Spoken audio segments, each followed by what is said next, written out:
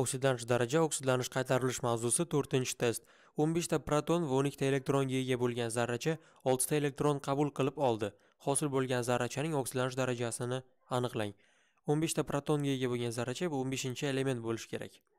Demak element 15 15 ta elektron bo'lganda element 0 bo'ladi. Element 0 bo'ladi ya'ni oksidlanish darajasi 0 bo'ladi.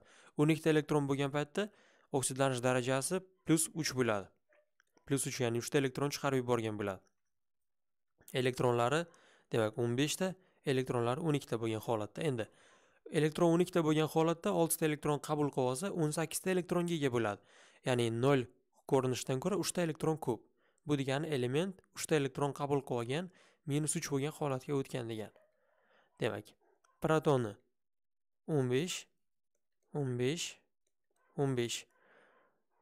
Demak element minus uch hosil bo'lgan zarrachaning oksidlanish darajasini aniqlang deyapti minus uch s olishimiz kerak.